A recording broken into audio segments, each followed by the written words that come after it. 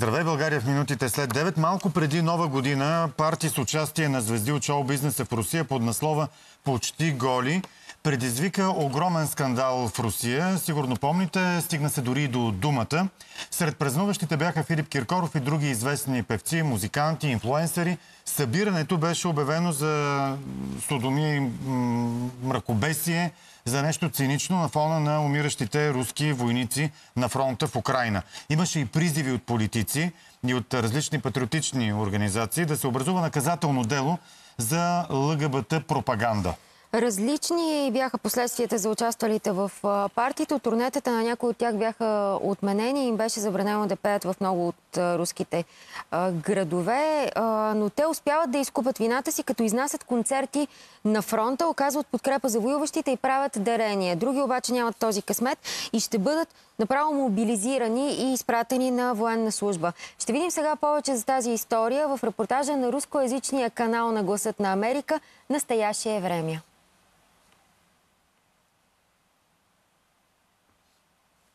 Тюмен, Перм, Екатеринбург, Новосибирск, Омск, Бернаул. Това са градовете, в които Лолита Милявская няма да се появи с обиленото си пролетно турне. Концертите на певицата са отменени още от декември, след като тя присъства на почти голо парти на звезди от шоу-бизнеса. Организаторите на изявите се позовават на независещи от тях обстоятелства или отказват да обяснят причините за отмяната. Самата Лолита се опитва да запази бодро настроението. Скоро весна, поэтому не забув... Пролета идва скоро, така че не забравяйте всички, че ще има Велик ден. А аз по някаква причина много искам да пея. Просто се задъхвам, вероятно защото отдавна не съм пяла любимата си песен и никакви повече партита. И никаких больше вечеринок! Три дни след публикуването на този видеоклип, името на Лолита беше открито списъка на артистите, на които е забранена концертна дейност в Русия. Документът е предоставен от източници на изданието Медуза. Според тях имената на музикантите са съгласувани с президентската администрация. Публикуваният списък има данни с грешки и несъществуващи музиканти. Руските власти отричат да разполагат с такъв списък с отменени звезди. Много се изненада, когато видях този списък, както в медиите, така и в социалните мрежи много хора питат за него. Аз изобщо не знам какво е това, какъв е този списък, кой го е съставил и откъде е дошъл. Ние нямаме нищо общо с него, не се занимаваме с такива дейности. Независимо от съществуването на федерален черен списък, регионалните власти сами поемат инициативата. Така миналата седмица кметът на Владивосток поиска отмяна на концертите на Кристина Робакайте и Диана Арбенина в, цитирам, града на бойната слава. В резултат на това редица изпълнения на Робакайте не се състояха. А пък Диана Арбенина, която се обяви срещу анексирането на Крим през 14 година и пълномащабната война през 22 година, започна отново да прави турнета. Миналата пролет активисти поискаха тя да бъде разследвана за дискредитиране на армията. Тя нямаше почти никакви концерти, но през есента в Новосибирск Арбенина изпя песен със съпругата на руски военен.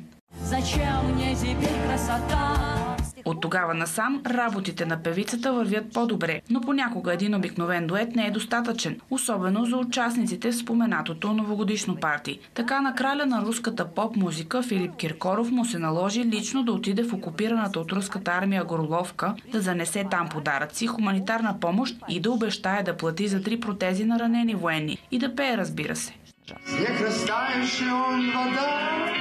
Киркоров, подобно на Лолита, изпада в немил след партито на Ивлеева и сега трябва да се оправдава пред военните.